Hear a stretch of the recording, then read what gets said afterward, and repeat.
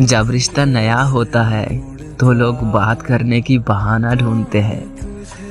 वही रिश्ता जब पुराना होता है तो वही लोग दूर जाने की बहाना ढूंढते हैं।